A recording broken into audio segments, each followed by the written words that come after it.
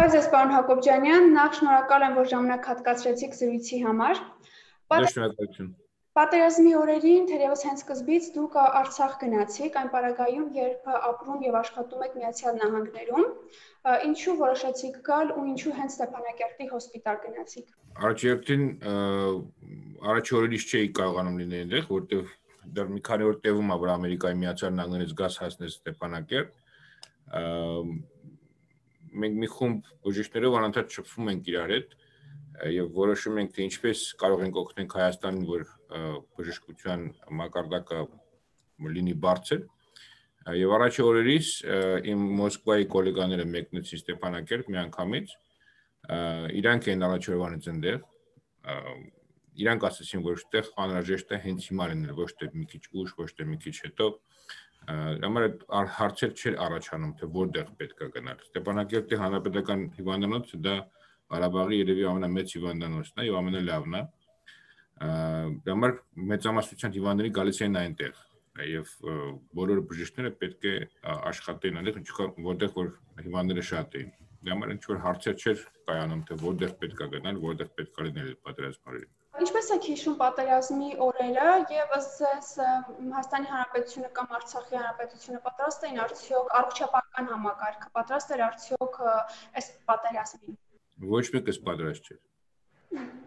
Ոչ մեկս պատրաստ չէր։ Ոչ թե մենք պետական հիմնարկը, հնարավորապես բժիշկներն պատրաստ չէին։ Բուժքույրներն պատրաստ չէին, ոչ մեկս պատրաստ կան։ Դուք որքան մնացիք Ստեփանակերտում։ Երկու շաբաթ Քանի վիրահատություն հասցրեցիք անել, քանի կյանք փրկեցիք, ունեք նման տվյալներ։ Չէ, չունենք։ Առաջին ինչ դժվար է հիշել այդ օրերը, ես հույսով եմ, որ դրա մասին չենք խոսի շատ։ Ուզում եմ խոսենք ապագայի մասին, ոչ թե անցյալի մասին։ Բժիշկները, բուժքույրերը եւ հիվանդանոցները իմ կարծիքով իրանց սխալները արդեն սովորել են։ Ո՞րն էր հիմնական սխալը, որ որ իսկապես շատ ակնառու էր ձեզ համար առաջի հերթին մենք ճունենք պրոտոկոլներ, սիստեմաներ, որոնք կարող ենք օգտագործել հիվանդների սպասարկման դեպքում որովհետև երբ որ դու բերում ես մի հատ հիվանդ, օրեկան 3-4 հատ հիվանդ ես վիրահատում, դու կարողանում ես նստել, մտածել, որոշել, թե ինչ կարելի անել այդ հիվանդի հետ սխալները հասկանալ, ճիշտ ուղղությունը հասկանալ։ Երբ որ դու ունենում ես մեծականակ հիվանդ, որոնք գալիս են մի անգամից եւ դու ճունես մեծականակ վիրահատարան, ճունես մեծականակ բժշկական սպասարկում, հա, ոչ բժիշկներն են շատ, ոչ բժշկուրներն են շատ, եւ դու ճունես պատրաստված բժիշկներ։ Այդ ժամանակ արդեն պետք է պրոտոկոլներով գնալ։ Ինչ ինչից հետո պիտի լինի, որ հիվանդը պիտի մտնի հիմա վիրահատարան, որ հիվանդին պետք է մատ քննել նայել թե ինքը պատրաստ է այդ վիրահատությանը թե ոչ արյան կորուստը ընդհանուր մարմնի վնասվածքները, գլխի վնասվածքները, պրոտոկոլներ ընդհանրապես չկար։ Մի հատ օրինակ բերեմ, որ օրինակի համար Ամերիկայի Միացյալ Նահանգներում տրավմատոլոգ հասկացողությունը եւ Հայաստանի Միացյալ Հայաստանում տրավմատոլոգ հասկացողությունը տարբեր բաներ են։ Հայաստանում տրավմատոլոգը դա օրթոպեդն է, որը որ կոտրվածքների հետ է աշխատում։ Ամերիկայի Միացյալ Նահանգներում տրավմատոլոգը դա ընդհանուր վիրաբույժն է, որը պատասխանատու է հիվանդի կյանքի համար։ Նշանակում է, եթե ոսկի որևէ ավտովթարից հետո բերում են հիվանդ մեր մոտ, այդ ընդհանուր վիրաբույժը այդ հիվանդին ոտուց գլուխ պետք է նայ ստուգի տեսնի, որն որոնք են վնասվածքները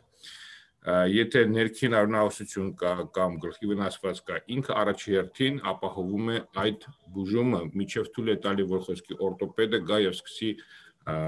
վիրահատել ձեռքը կամ ոտքը կամ որևէ ուրիշ վնասված ոսկորը կամ նեյրոխիրուրգը կամ նույնիսկ ընդհանուր խիրուրգը, հա, իսկ մեր մոտ պրոտոկոլ չկար։ Ամեն մի բժիշկ, որը որ վերցնում էր այդ հիվանդին, ինքը պատասխանատու էր ոտից գլուխ եւ իհարկե մենք բոլորս մասնագետներ ենք մեր ոլորտում, բայց մենք չենք կարող հասկանալ թե ուրիշ վնասվածքի դեպքում ճիշտ մոտեցումը որն է մենք չունենք պրոտոկոլ ոնց է պետք կարունը տալ հիվանդին կամ ոնց է պետք կարունը պահպանել, հա օրինակի համար մենք ունենք հետաքրքիր շատ գործողություն, որը որ մեր գոլեգան եկավ Հայաստանում սորացնում էր դոկտոր Սարգիս Կիրամիջյանը որը որ փակում է աորտայի որոշ մաս եւ չի թույլ տալի որ շատ արուն դուրս գա հիվանդի սրտից այդ իսկ պատճառով հիվանդը շատ արուն չի կորցնում եւ մենք կարողանում ենք հասնենք փակել այն վնասվածքները որը որ հիվանդը ունի այդ պրոտոկոլները պետք է միշտ պատրաստ լինեն որովհետեւ դա հաճախ չի լինում հիվանդները եւ բժիշկները եւ միջին բժշկական անձնակազմը պետք է հասկանա ամեն մի քայլը ով ինչից հետո պետք է ինչ աշխատանք անի իսկ այդ պրոտոկոլները չկար իմ կարծիքով դա ամենամեծ սխալն էր եւ այսօրվա օրով մենք պետք է այդ ամեն ինչը սովորացնենք, պատրաստվենք եւ հասկանանք թե ուր ենք մենք շարժում, որովհետեւ հույսով ենք որ մենք կյանքում ենք կրիվ չենք տեսնել, բայց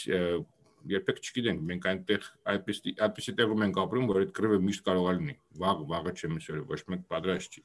Ես մեծ հույսեր ունեմ, որ մենք կրիվ չենք տեսնի, բայց իրականությունը մի տարբեր է։ Հա, իրավացեք։ Եվ հարց ունեմ, ինչ զգացողություններով դուք գալիս եք Երևան, Հայաստանի Հանրապետություն ճիշտ է Ստեփանակերտ գնացիք եւ ինչ զգացողություններով արդեն վերադարձաք։ Գիտեք, ես Երևան գալիս եմ ամեն տարի, վերջի 25 տարին եւ իմ զգացողությունները միշտ շատ ուրախ են, բարի, որովհետեւ ես տեսնում եմ իմ հին ընկերներին, իմ բարեկամներին, իմ եղբայրների եւ քուրիկների երեխաներին, դա միշտ շատ պոզիտիվ, ուրախ զգացողություններ են։ Եվ ինչն է ամենահետաքրքիրը, որ գալիս ես Հայաստան, բոլոր բարեկամները ուզում են որ դու մի օր էլ մնաս, մի օր էլ ավել մնաս, քեզ շուտ գնում եւ այլն եւ այլն։ Այս անգամ ի տարբերություն բոլոր անցյալ անգամներից ինձ ասում են շուտ գնա։ Եվ դա երևի առաջի դժվար բան է որ հասկանա, որ նույնիսկ մարտիկ ովքեր քեզ միշտ սիրում են, ուզում են որ դու ընդեղ լինես, ուզում են որ դու մի օր շուտ գնաս Հայաստանից ցավոք սրտի զգացողությունը շատ տարբեր էր, օրից օր փոխվում էր։ Առաջի օրերից ուրիշ զգացողություններ, երբ որ տենում ես այդ վնասվածքները, միանգամից զգացողությունները փոխվում են, մարդիկ են փոխվում, փոխվում են ընդհանուր կյանքի մոտեցումը, ձեռք ես բերում նոր ընկերներ եւ երևի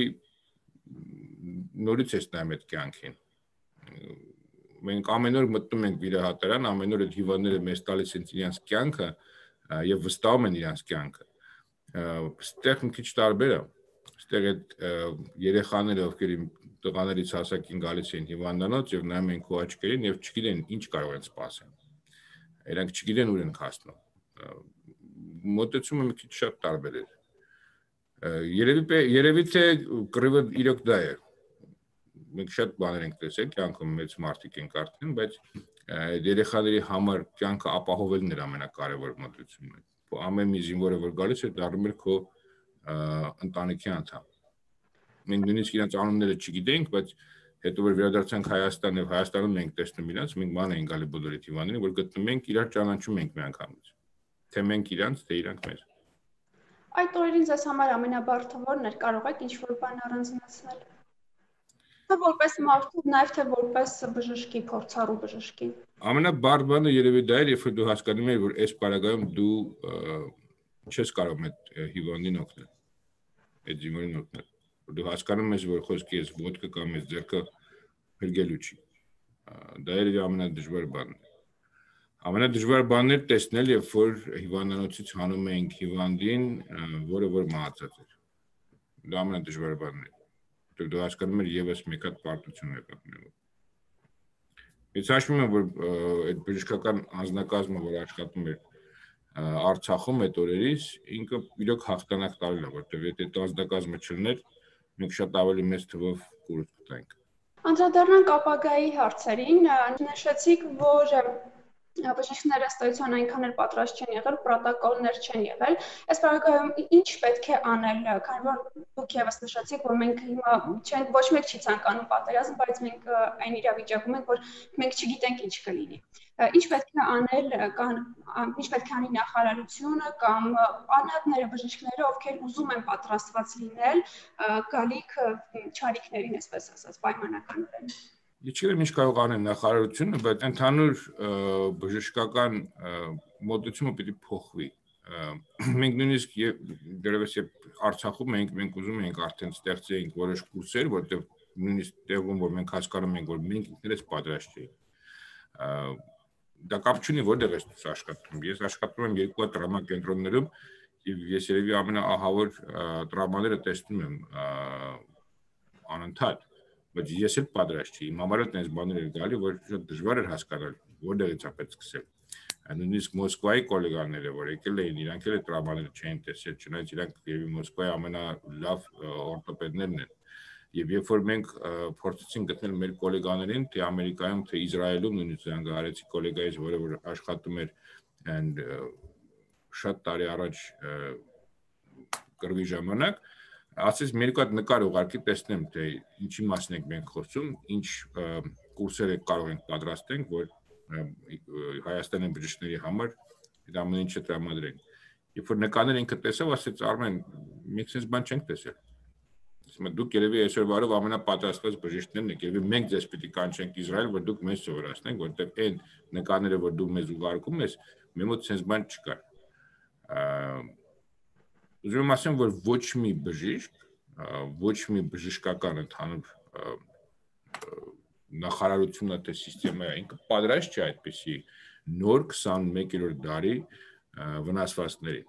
Որտեղ այդ վնասվածքները իրանք տարածվում են ամբողջ մարմնով։ Մենք պետք է ընդհանուր թիմով մոտիկանանք այդ խնդիրներին։ Պրոտոկոլները պիտի ստեղծվեն, բժիշկները պիտի լավ կրթված լինեն, պիտի հասկանան արագ աշխատելու ձևը։ Այո, երբ որ մարդը արունավորում է, դու չես կարող, ոսկի 2.5 ժամ օրինակի համար չունակ անոթ կարես, չես կարա։ Պետք է արագ աշխատանք լինի։ Երբ որ մենք